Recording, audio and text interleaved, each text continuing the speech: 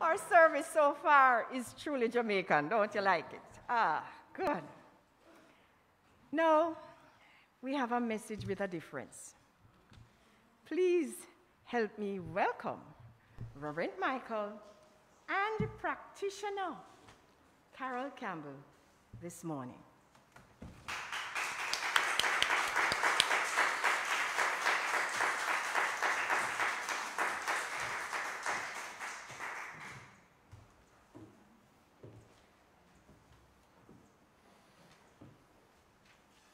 Thank you for that introduction, Reverend Anne. And good morning, all. Morning. A blessed morning to you here at the Temple of Light on this light filled morning and in sunny, sunny Kingston, Jamaica. And to you listening online. And a special good morning to you, Science of Mind practitioner Carol Campbell. I ask you here to join me on the platform as I need your help with my talk this morning. Why, you haven't written it yet, Michael? It's not one of my regular talks. Oh. it's to be in the form of a dialogue. I need somebody to talk to. in one of those deep introspective communings with your higher self, I suppose. No, it's an exploratory talk with you. I see. what exactly are we exploring? we are exploring the connection between quantum physics and Jesus' teaching. What, what do I know about quantum physics? I'm an artist. You are also a religious science practitioner with years of training and experience. So you know a lot about Jesus too. Well, what I don't remember I can look it up. I have a Bible right here. Don't strain yourself. That's a large Bible. and, and Carol, I've been learning about quantum physics. You see, I just finished teaching a, a course on it last week. You saw a link between Jesus and quantum physics? Jesus lived 2,000 odd years ago. And I know that quantum physics was discovered very recently. True, in the last hundred years. So Jesus couldn't possibly know about quantum physics. Not by name, not by name. But he knew truths about the universe that apparently quantum physics are just, physicists are just discovering. Huh. Tell me more. Okay. There are five quantum physics discoveries mentioned in Shortcut to a Miracle. That's the textbook that my class used. The first one is quantum physics shows that the universe is an undivided whole. Everything is connected. Hold on. Everything doesn't look connected. Those trees outside are not connected. They're far from one another they're connected by the land that they're planted in. Okay, but people are not planted. They're walking about on the land, unconnected. True, I give you that. But have you heard about telepathy? Mind reading? Yes. Well, hundreds, hundreds of scientifically controlled experiments have shown that telepathy is possible. That means human beings are connected mentally, I mean by thought. That's why sometimes, and you, you would have experienced this, sometimes when you think about somebody, the phone rings, and lo and behold, it's them. Hmm. now I think about it, yes. And humans and animals, at least domestic animals like cats and dogs and horses, are mentally connected too. They can sense our emotions and intentions. Exactly. And, and I'm sure that a lot of animal owners can testify to that.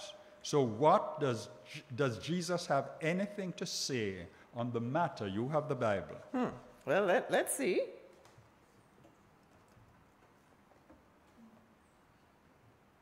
Well, he says, we should love our neighbor as ourselves. Right.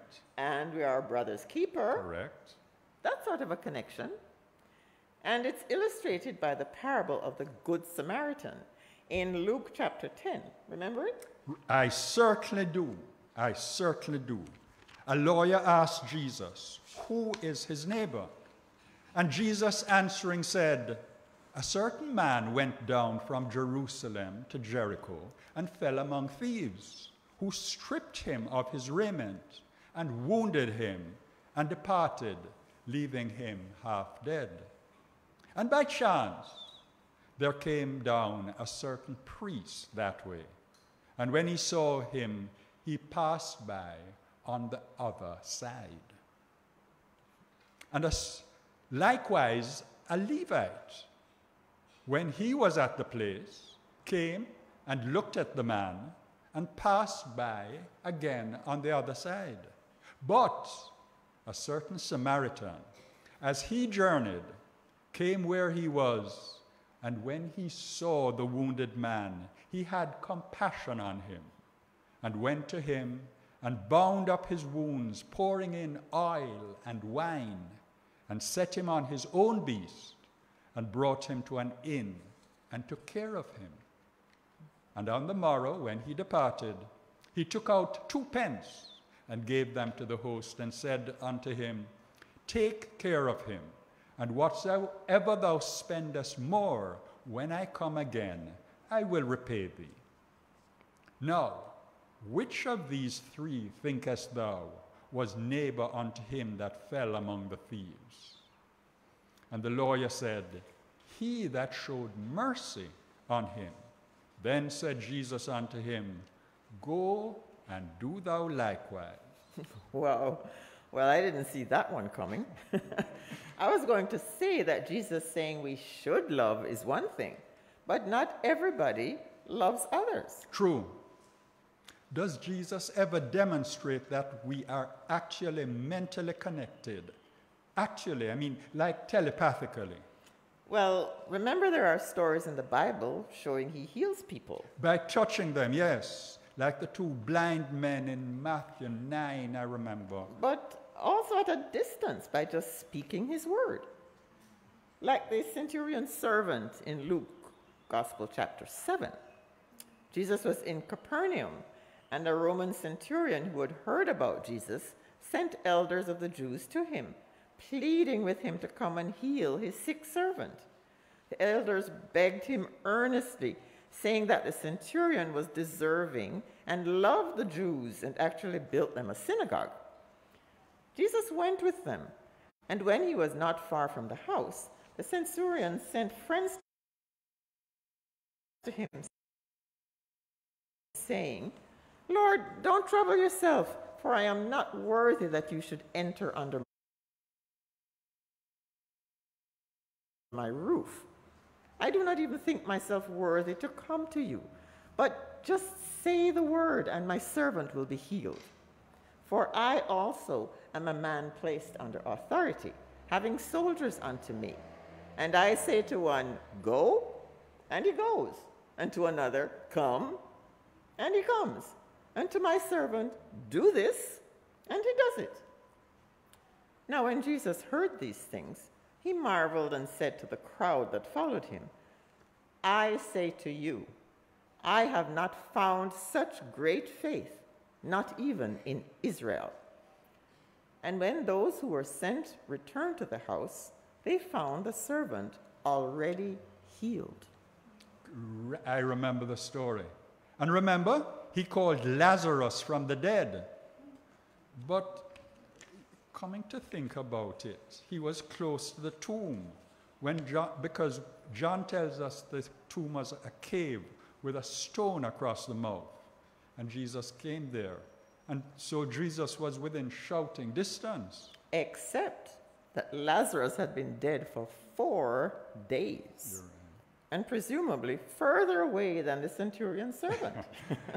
good point, good point. I, I give you that. I give you that. But you know, even if those things never literally happened, as stories, they show that from that time, 2,000 odd years ago, people believed human beings were connected mentally, which is what quantum physics is showing now. Hmm. And, and Additionally, quantum physics is showing how it could work. Really? I can't wait to hear. You know that for hundreds of years, atoms were thought to be the smallest form of matter, right? Yeah? Well, quantum physics deals with things which are tinier, smaller than atoms, subatomic particles, they call them. And scientific laboratory tests show that our minds influence things at that level. But why? Now, I said that subatomic things were particles, but sometimes those particles, which could be like, think out very tiny marbles, sometimes those particles become waves. So, if they are waves, you can see that our brain waves could link with them. Both are forms of energy. Let me get this straight. Sometimes subatomic particles change from being like marbles to being like waves. So, brain waves, light waves, gravitational waves, heat waves. Correct. What causes them to change to waves? The quantum experiments, repeatable experiments, mind you, show that the intentions, the intentions of the experimenters cause the change. They know our intentions? That is what the experiments show. The particles will start out as particles because the experimenters have the intention to measure them as particles. And if the experimenters change their mind suddenly in the middle of the experiment, get this, and want to measure them as waves, they change the waves to suit the experimenters. Wow. So that means that quantum physics proves in repeatable experiments that the universe responds positively to our thoughts. That's right. Hmm. Reminds me of the beginning of Genesis when God said, Let there be light. And there was light. Well, that was God speaking. So, don't you see that quantum physics is showing that we are like God? We can create things in our environment with our intentions, just as God does. You're correct. And that is what science of mind also teaches. So, quantum physics is catching up with science of mind, right? as well as Jesus, exactly. but to get to catching up with Jesus as he influences things in his environment, here, hmm, in John chapter 2, verses 1 to 10, we read about Jesus' first miracle, changing water into wine. Remember it well. and here it goes. And the third day there was a marriage in Cana of Galilee, and the mother of Jesus was there. And both Jesus was called and his disciples to the marriage. And when they wanted wine, the mother of Jesus saith unto him, They have no wine. So Jesus tells some servants to fill the water pots with water, after which he told them to take the contents to the governor of the feast.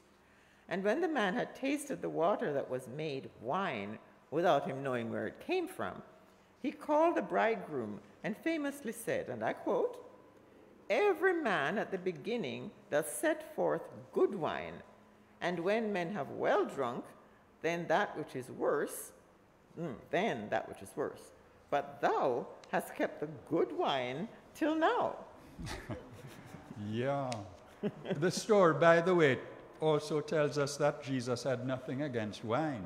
Point. and in Mark chapter 4, we read about him calming the storm. And it goes like this Jesus and his disciples were in a boat, and Jesus was sleeping when a furious squall came up, and the waves broke over the boat, nearly swamping it. The disciples woke Jesus and said to him, Teacher, teacher, don't you care if we drown? Jesus promptly got up and rebuked the wind and said to the waves, Quiet, be still. And the wind died down, and it was completely calm. Mark reports that the disciples were terrified and asked one another, Who is this? Even the wind and the waves obey him? What kind of man is this? Mm-hmm. Then there was a rather odd story of Jesus cursing a fig tree in Bethany because it had no fruit when he was hungry. The next day, the disciples saw that it was withered from the root. Peter said to Jesus, Rabbi, look, the fig tree you cursed has withered. I remember it. And you know, it is in Jesus' answer that we re- realize the lesson he wanted the disciples to learn. It's a really important one. Well, let me read it. Mm-hmm. Have faith in God, Jesus answered. Truly, I tell you, if anyone says to this mountain, Go, throw yourself into the sea, and does not doubt in their heart, but believes that what they say will happen, it will be done. Therefore, I tell you, whatever you ask for in prayer, believe that you have received it and it will be yours. And when you stand praying, if you hold anything against anyone, forgive them, so that your Father in heaven may forgive you your sins. As I said, a really important lesson about prayer. Whatever you ask for in prayer, believe that you have received it and it will be yours. Unquote. Those who didn't believe Jesus about the importance of, of having absolute faith in one's ability to bring about even major changes can believe quantum physics. Those e- experiments are repeatable. You can move mountains because your thoughts influence the atoms in the mountains. That's what quantum physics teaches experimentally. But, Carol, I've saved for the last the most important point that shortcut to a miracle makes about our influencing the universe. Well, why save it? You could have told us first. because it is really almost incredible. It's about time. Time? What, what about it? Time seems to be relative. Meaning what? It expands or it contracts. Time expands or contracts and generally interacts with things going on around it, especially gravity. Einstein, Albert Einstein, the famous physicist, showed how gravity warped what he called space time. Whoa, I have heard something about that. Mm-hmm. You notice any sort of time element in Jesus' miracles? You are of the Bible course, expert. Of course. His miracles are instantaneous. Yeah. Outside of the natural cause of events. The waves in the storm instantly obeyed his command Yeah. to be still. The man instantly is able to stretch forth his withered hand. The blind men he touched see instantly. The water instantly changes into wine, and so forth. And to go back to Genesis, the formless universe instantly takes form when God commands it, and light instantly appears when He says, Let there be light. And here's the really interesting thing physics shows us gravity affects time. That is to say, it slows down time.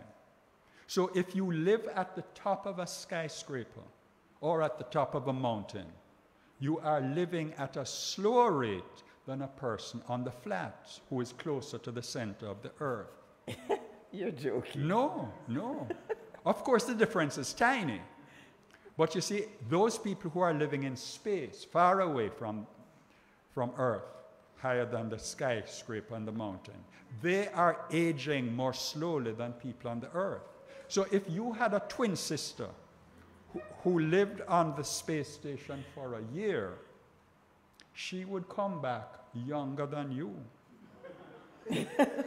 yeah, this is what this is what the experiments are showing. You might have heard, to become a little bit more mundane, that the GPS devices on Earth have to take the different rates of time from the devices in space into account, or we would be getting wrong information every time we used a GPS. I should try to live in space. yes, you would age more slowly. But, Carol, it's very expensive. What we in religious science teach, of course, is that God is outside of time. That means you can pray to God to reverse something that appears to have taken place in the past in your dimension. There's a story, for example, of the relief package that arrived in an African village on the afternoon of the day it was prayed for. With, in the care package, exactly what was needed to save the life of a little baby. The package came from the United States of America and must have been mailed three months earlier. Hmm. I see what you mean.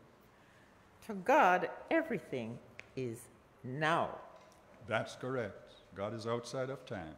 I want to end with a rather sweet romantic story from Shortcut to a Miracle to illustrate that it's never too late. Let me give you a little bit of a preamble. It is important, and I'm reading from Shortcut to a Miracle, it is important to remember the spiritual principle that we magnify and increase that which we give our attention to. Our focus needs to be on what we have and not on what we don't have. So train yourself to appreciate everything in your life that you enjoy, everything that is fulfilling and enriching. When you do this, you're attracting into your life more people things and experiences that are enjoyable, fulfilling, and enriching. The most important thing you can do while you wait is to not wait. That is to say, make a commitment to yourself to fully and, and appreciate the life that you are living currently and make your life as rewarding and fulfilling as possible. Now, almost every couple has an interesting story about how they met. And we all know many rather incredible stories about how they got together. And one story that illustrates several important points is the story I'm about to tell you of Marcia and Ted. Marcia and Ted met when she was 19 and in college. He was a little older. 23 at the time. Marcia was very attracted to Ted. He was everything she wanted in a man. But whenever they were together in the same group, he didn't seem to be aware of her at all. And then, after a couple of years, Ted became engaged to someone else in the group, married that person, and moved to another state. Although there had never been a relationship as such between them, Marcia loved everything that she knew about Ted. One warm summer evening, a few months after Ted had moved away, Marcia sat alone on the porch outside her home. She sat in the dark for a while and thought about Ted. She recalled his many wonderful qualities and thought to herself how there, were no, there was no way that it would ever work out for the two of them now that he had gone away. Unexpectedly, however, she looked up to the sky and called out in the dark, If there's any way I can have this man, I love him and I want him. As she did this, Marcia felt a great feeling of release. She continued to sit on the porch for a while, and somehow something was complete within her. Something had changed. After that night, she was able to move on with her life, free of the unfulfilled longing she had previously experienced whenever she thought about Ted. You see, she had spoken her re- word, released it. And this also released her to get on with the business of her own life. Subsequently, Marcia graduated from college, met another fine young man, and married him. She raised a family of a son and two daughters and lived a happy and fulfilled life. Occasionally, Marcia would run into someone from the old group who made some small mention of Ted, but she didn't see him and, and they had no contact otherwise.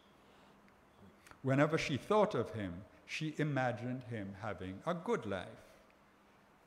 It was 40 years after the night when Marcia had called out to the stars before she and Ted met again. 40 years. His wife had died, his children were grown, and he was moving back to the town where he and Marcia had met. She had lived there all these years, and now her husband too had died. Not surprisingly, the feeling was still there, only this time it was there too for Ted. It wasn't long before Marcia and Ted were married, and their life together truly was everything she had ever dreamed it might be. In fact, Marcia confided to me, this is the author of Shortcut to a Miracle. In fact, when Ted was younger, he was a bit cocky and arrogant. Now all that has mellowed, and I can hardly believe how lucky I am. Luck? Hardly. It was the setting of intention. And after all that, all I can say is namaste.